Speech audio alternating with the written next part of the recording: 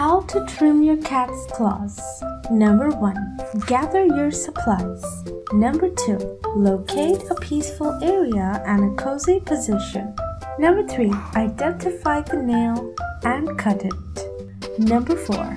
Cut a 45 degree angle. Number 5. Take off a little at a time. Number 6. Cut the rest of your cat's claws.